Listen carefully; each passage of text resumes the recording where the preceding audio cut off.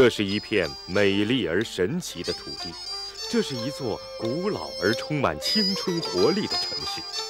当陆地丝绸之路成为遥远的历史回声时，海上的丝绸之路伴着阵阵涛声从这里起步。从此，它不再沉默，成为乐善好施的千年古城。同时，它也为后人留下了众多的文化遗产和一个个难解之谜。观众朋友您好，您现在收看的是《走遍中国》。从这周开始，我们要为大家介绍的是泉州。泉州位于东海之滨，地处福建省东南部，与台湾隔海相望。泉州历史上是海上丝绸之路的起点，它又是著名的侨乡和台湾同胞的重要祖籍地。泉州是海内外瞩目的名城。今天到我们演播室做客的嘉宾是泉州市文联主席陈日升先生，陈先生您好，欢迎您。你好。您作为泉州人哈，您给我们先讲一讲这个最后怎么就定定名为泉州了？这个名字在唐代的时候，离开现在有一千三百年了。北边有个山，那个山叫泉山，现在叫做清源山。那泉山下面的这个城市就叫做泉州。哦。所以这个城市是依山得名的。提起这个马可波罗这个名字，我想您一定很熟悉哈。那电视机前的观众朋友也一定非常熟悉，呃，知道他是一个大旅行家，他的足迹遍及了世界各个地方。但是啊，还有一位意大利人，他比马可波罗要早到泉州。一二七一年八月二十五日，一个叫雅各的意大利犹太商人的船停靠在中国的沿海港口。这个城市给雅各留下的最初也是最强烈的印象，就是一片光芒。于是他写了一本书，叫《光明之城》。据后来的专家考证，雅各书里的光明之城就是现在的泉州。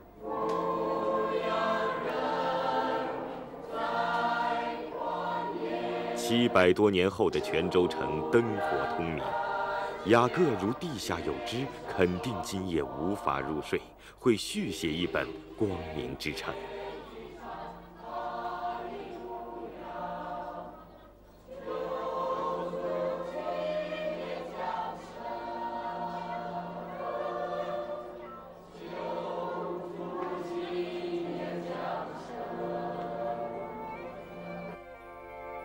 泉州在宋元时。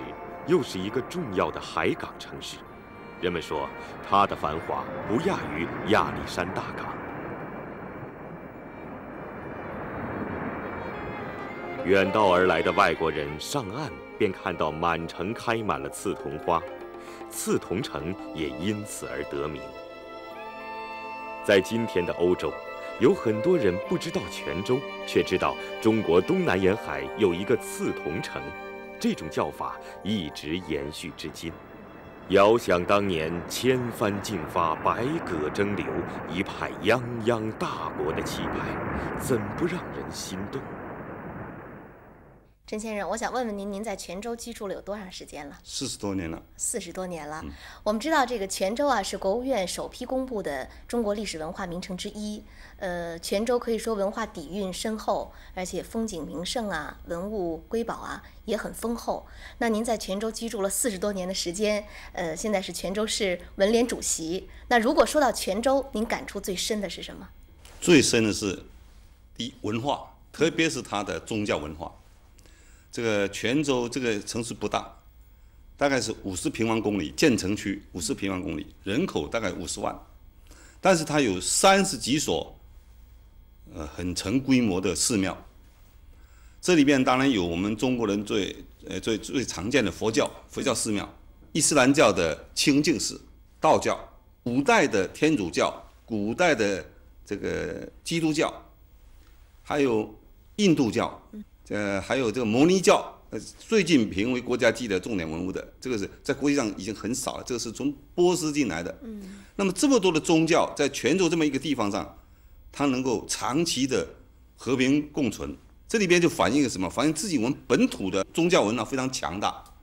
呃，这一点有点有点像什么？像汉唐的西安一样，它能够容纳各种的宗教文化在这里共融，在这里和平的在这里。得到发展。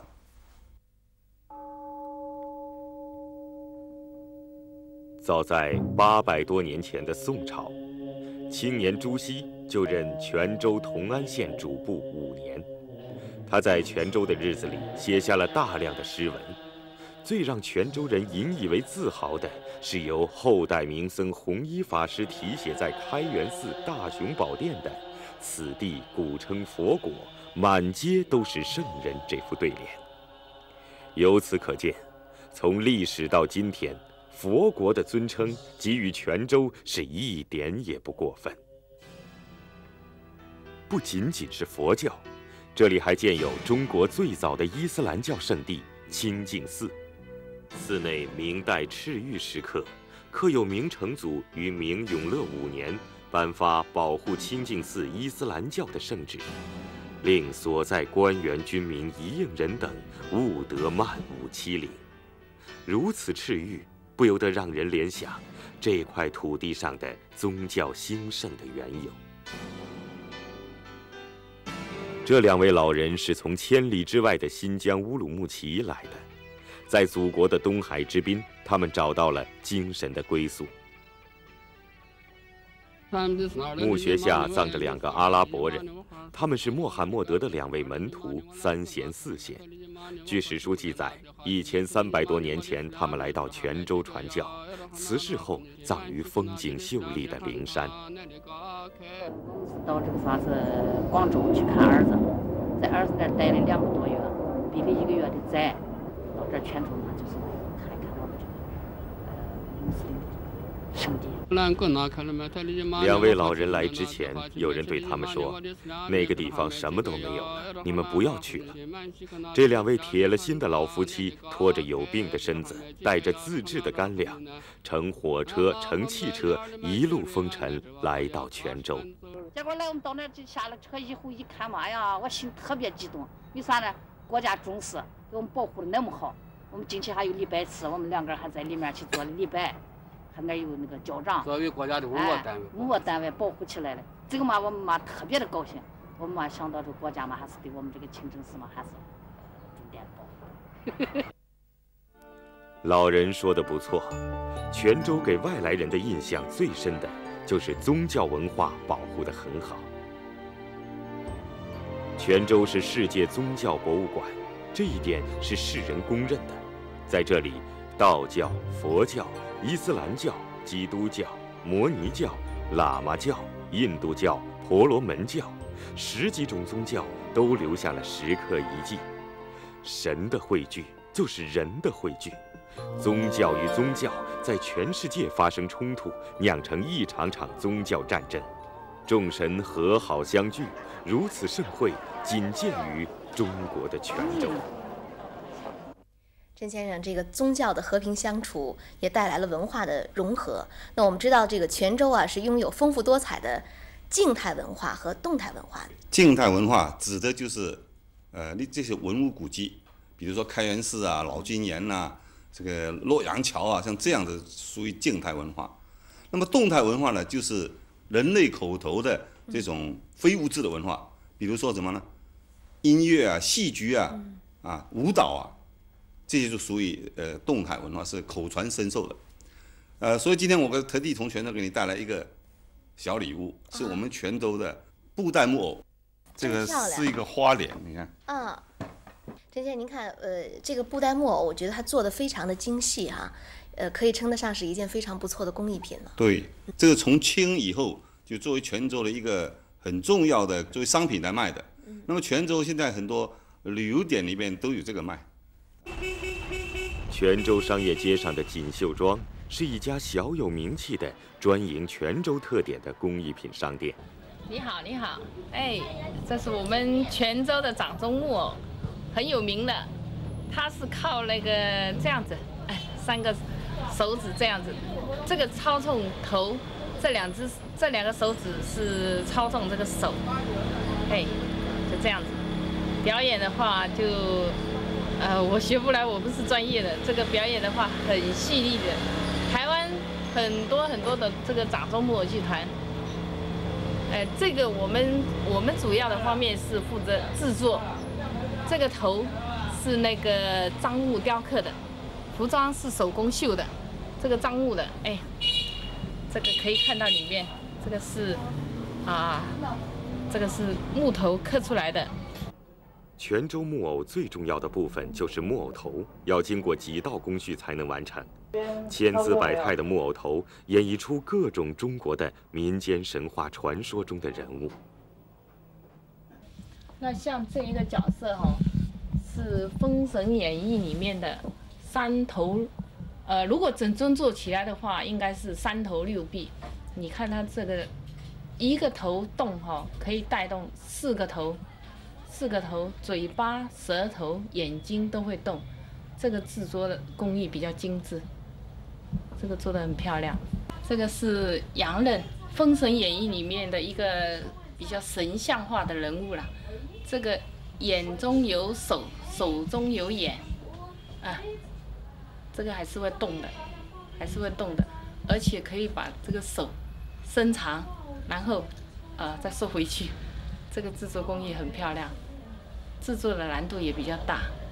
欢迎下次光临，再见，再见。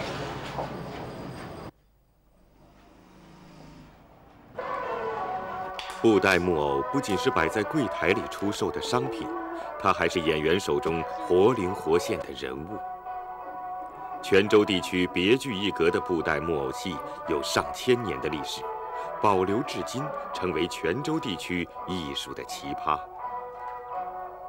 精湛的技艺引人入胜，妙趣横生，令人叹绝。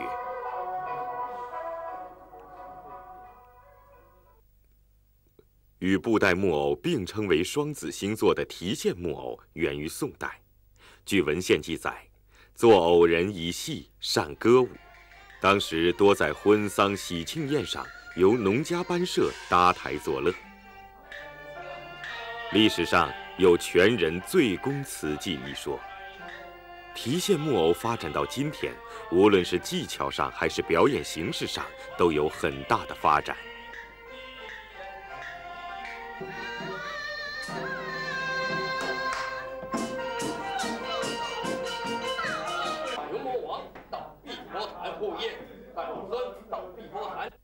的这个提线木偶呢，古代叫悬丝傀儡，就是悬在上面的丝线来操纵这个木偶，叫悬丝傀儡。这悬丝傀儡呢，中国呃非常非常确凿的这个记载是从汉代就开始有了。那汉代的那个提线木偶戏发展到现在呢，呃，已经有两千多年的历史了。那它进入泉州，我们目前能够非常确切的知道，它是从。宋代就已经在泉州已经落地生根了。过去，每具木偶提线十六根，现在发展到三十二根，给表演也增加了极大的难度。他们手中的钩牌可以调动自如，八个指头挑拨提钩，一根根线连成鲜活的生命。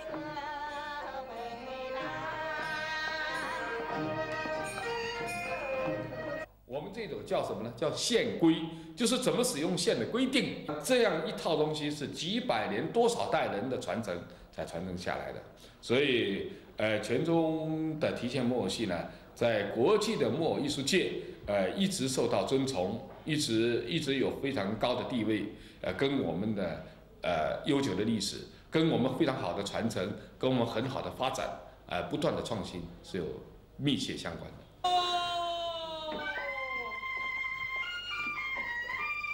这是一块历史悠久、文化丰厚的土地，很早就有了吹歌、散曲等古老的戏曲流布。这一带也是戏曲品种保留最多的地方。南音、高甲戏、梨园戏、大城戏，个个都称得上是艺术精品。是泉州的戏剧艺术带动了民间艺术的发展。还是民间艺术推动了戏剧艺术的演变，准确的说法应该是两种形式的互动，相互渗透，相互影响。火顶公婆和拍胸舞是泉州地区喜庆节日里最受欢迎的街头表演。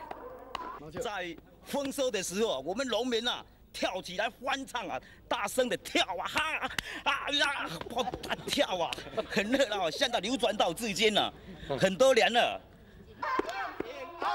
感谢生活，赋予他们创美的本性和精湛的技艺。他们的表演中，有时粗犷鲁莽，有时甚至放荡不羁。也许过不了多少年，这一切都将成为历史。正因为如此，他们是从历史走来的，也必然会向未来走去，在生生不断的延续中，折射出中华文化的厚重。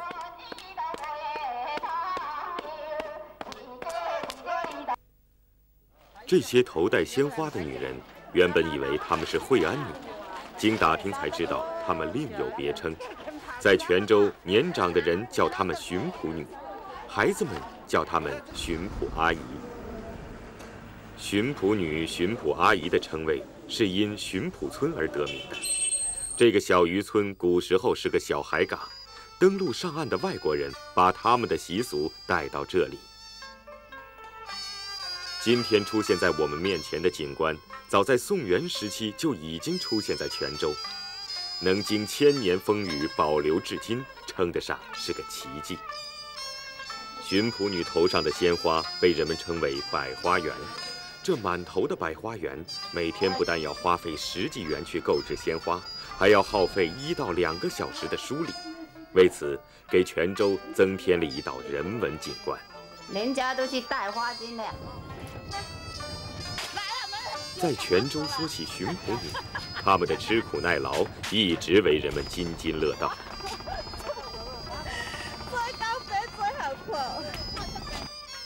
从背后看，你能看出这位老人是多大岁数了吗？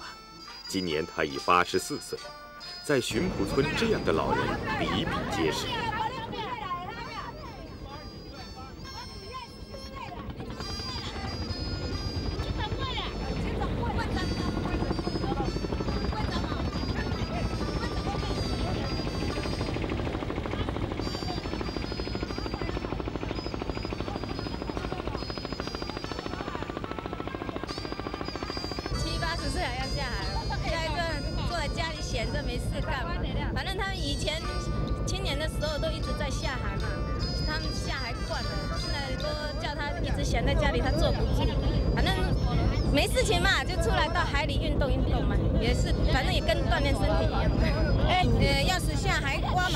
代代养成的习惯，使巡捕女人的能干远近闻名。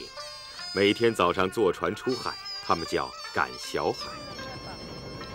赶小海就是到大海附近裸露的滩头采集海蛎子、鲜贝等海货。巡捕女这一身装备也足见其劳作的艰辛。这一望无际、海水相接的地方是一个天然养殖场。海潮来了，海水会淹没这里的一切。当海水退下去时，在人工竖起的一块块砖上，海蛎子就会附着在上面。开荤了，或者那个风来了哈，都会不这石头倒搞搞掉了。那搞掉了也要那个给它那个补起来喽，别四块四块的拼在一起了，这样它那个海蛎才会生在上面嘛。那大部分都是以这个为生的嘛，大部分都是以这个以这个为生的。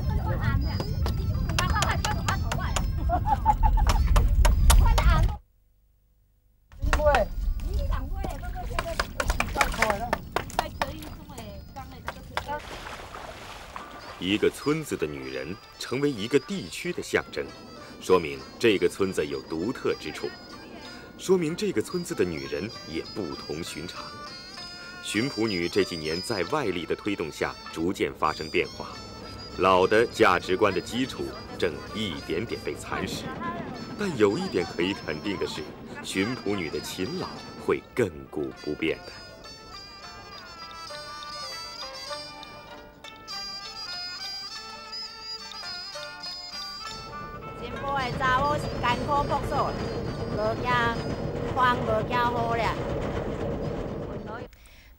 看到的这个戏剧和民间风俗啊，在台湾地区也是很盛行的，是不是？我们可以这样认为哈，就是在闽南地区，特别是泉州和台湾有着一脉相承的血缘关系。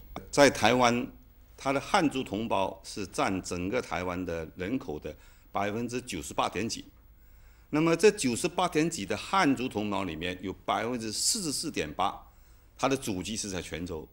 所以台湾的它的这个风俗、饮食、呃音乐文化，跟泉州有很多相同跟相似的地方。陈先生，我们知道这个泉州和台湾啊，尤其是和台湾的金门，这个距离是非常非常近的。不错，从泉州的下面一个县晋江啊，它有围头半岛，离金门只有五点六海里，那是看得清清楚楚的。如果没有雾的话，嗯，连岛上汽车在开动都看得见，啊。很遗憾，摄制组正巧赶上大雾，只看到大金门岛的轮廓。围头湾是大陆离金门最近的地方，当年震动世界的炮战就在这里发生。炮台已废弃，四周长满了一簇簇山菊花。昔日剑拔弩张的海峡两岸。今日已风平浪静，静的像一幅水粉画。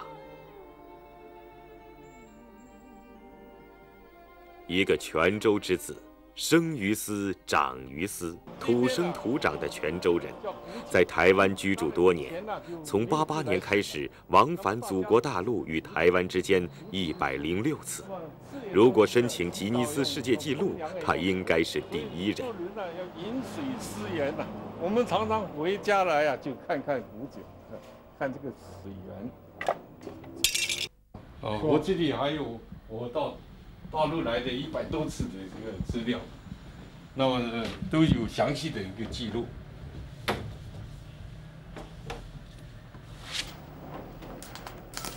去年呢，二零。零二年的七月份呢，我回来刚好一百次，所以这个本本地的一些乡亲啊、同学啊，就给我开一个庆祝会啊。那么这个是一个庆庆祝大会，那么这些的都是照片。回乡百次，感触何止千言，百感交集，一言难尽。最大的感触也是他的希望。最大的希望就是说，赶赶快能够和平统一，这第一个。第二呢，就是说这个赶快三通直通，不是现在渐进，现在是渐进的通，不是直通，还要到海境外第三地去停留，那么再换机再来，那何必多此一举的？这浪费人力，浪费金钱，这国力也浪费。你飞机上上下下要浪费多少那个物料、油料、人人人工的的服务，那何必？既然你要么你不通，那没话讲，几十年都没有通也就算了。你既然要通，就不要遮遮掩掩，对吧？啊，这干什么？陈水扁的政府他给我们解释，他是安全，怎么安全呢？我王仁瑞早上出发到晚上到，到跟直直通以后，我中午就可以到了。当王仁瑞老人第一百零六次走进飞机场，转机飞回台北。我们期盼着王老第一百零七次、一百零八次再来，不是绕道，而是从台湾直接飞到泉州，希望这一天尽快到来。大海挡不住海峡两岸的亲情。二零零一年，又一位老人回到了阔别六十九年的家乡泉州，他就是中国台湾著名诗人余光中。多年来。诗人余光中在他的乡愁小诗里是这样抒怀的：小时候，乡愁是一枚小小的邮票，我在这头，母亲在那头。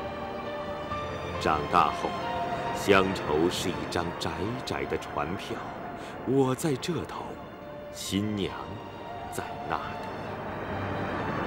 后来啊。乡愁是一方矮矮的坟墓，我在外头，母亲在里头。而现在，乡愁是一湾浅浅的海峡我在这头大陆在那头。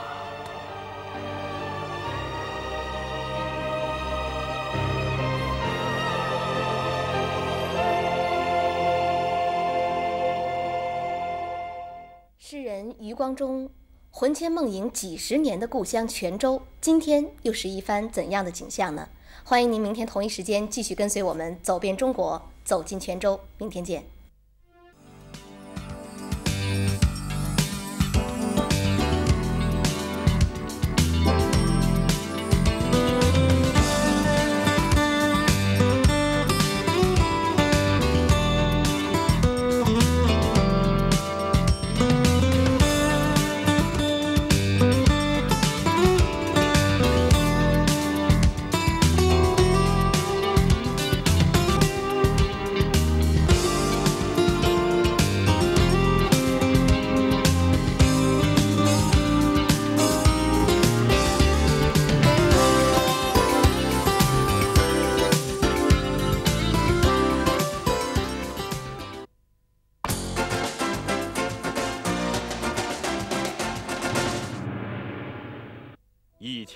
前，泉州是闻名世界的大港口，生活着许多来自阿拉伯、波斯等国家的商人和传教士。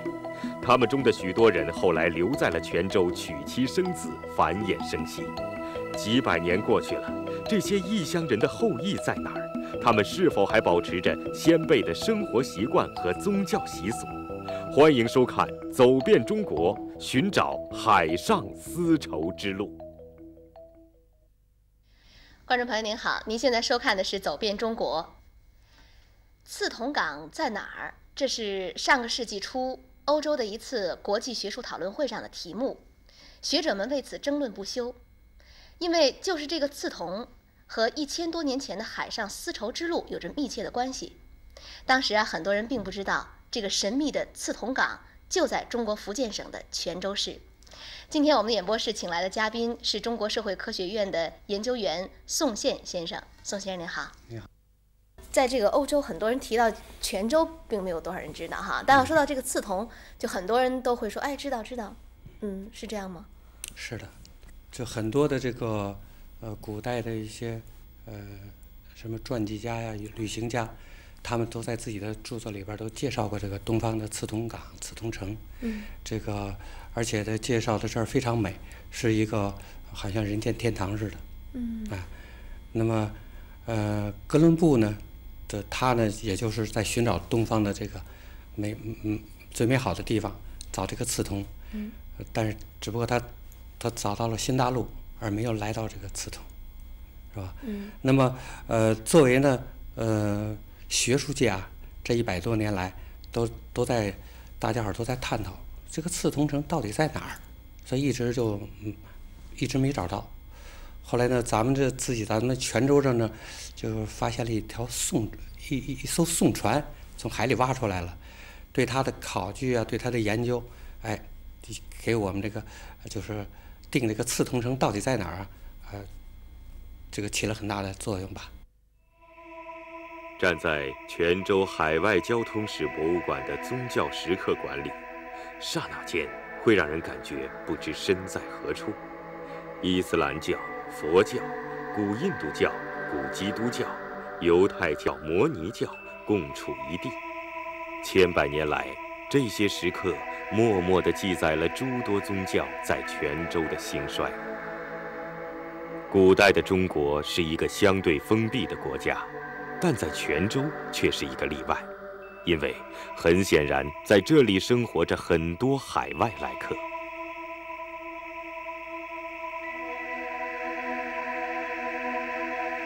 眼前的这些宋元时期的五百多件石刻，既有阿拉伯风格的木盖石，也有印度教保护神的雕像，中国样式的墓碑。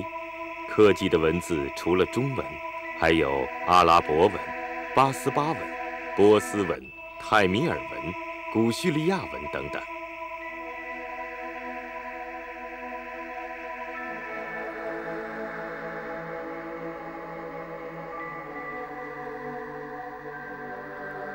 而十字架和带翅膀的天使，属于中世纪基督教不同教派的标志，却端坐在中国传统的莲花上，像是在思考着什么。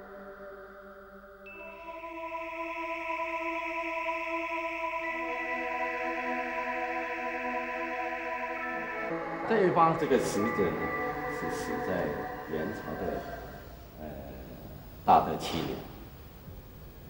根据阿拉伯文碑的翻译，这个死者叫做赖拉穆罕默德本阿卜杜拉，但是我们看到立碑的人是他的独子，叫吴应铎，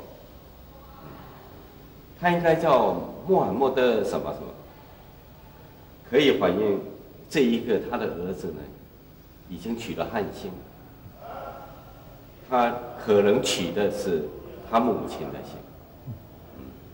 像这样的现象在呃宋代元代很多，也就是说，大量的啊数以万计的这一些阿拉伯波斯人来到泉州以后，他们很快的就融入这个社会。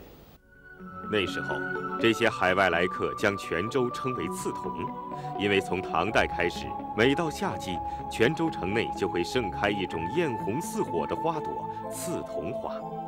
当时的刺桐。